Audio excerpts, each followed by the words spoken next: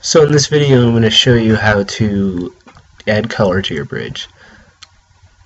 So the first thing that you're going to want to do is um, click the paint bucket tool on your toolbar.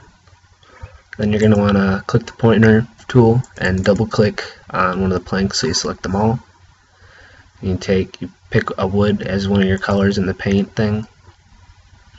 And then you um, click one of click the paint on it and it'll automatically paint all of them.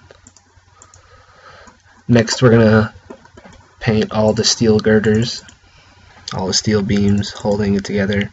We just select all of those and then we in our paint um, bucket we move to metal and we can pick aluminum and we just select them all click it and it'll paint them all with one click finally we can do the supports um, I pick stone and um, I usually like to choose um, sandstone.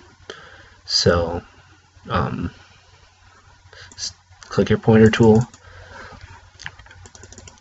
Um, select the uh, supports and hit the paint click the paint bucket and then sometimes you gotta do it for both of them like that and paint it and finally your bridge is complete. Um, and that's about it. Hope you learned something